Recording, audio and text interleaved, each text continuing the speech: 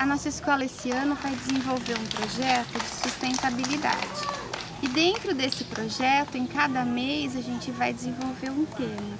Em março foi sobre a dengue, então eles aprenderam o que é a dengue, o mosquito transmissor, eh, os sintomas, o que causa o criadouro, né, o que pode causar. E aí é, nós fizemos um estudo dentro da escola, quais os possíveis criadouros, e fora da escola. E aí fora a gente descobriu que a nossa preocupação era o SESI, pelo prédio, o antigo SESI está abandonado e tudo mais. Aí os agentes da prefeitura vieram, limparam, passaram um herbicida e aí a gente continuou pesquisando e descobriu que não só lá era o perigo, né? Que na própria rua, ao nosso redor tinha como a lixeira, é, o lixo na rua e tudo mais.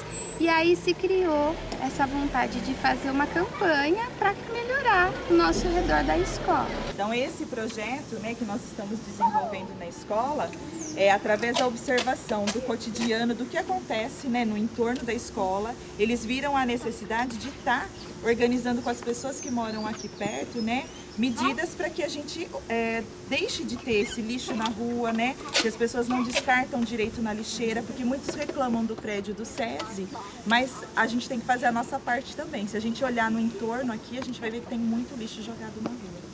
Então, assim, não adianta a prefeitura, né, ou quem tomar as providências lá, se aqui na frente da minha casa a gente tem o criadouro, né, o possível criadouro para o mosquito da dengue. Olha, eu acho super importante, porque uh, se as crianças estão já tendo esse conhecimento e levar os adultos que não têm. Eu acho que 90% de americana não está tendo o, como fala, a conscientização. No, muita gente passou por esse problema, sabe quanto é difícil, quanto foi doído e difícil que está sendo um caso de saúde aqui americana e não está fazendo nada, gente. Nada, nada, nada para melhorar.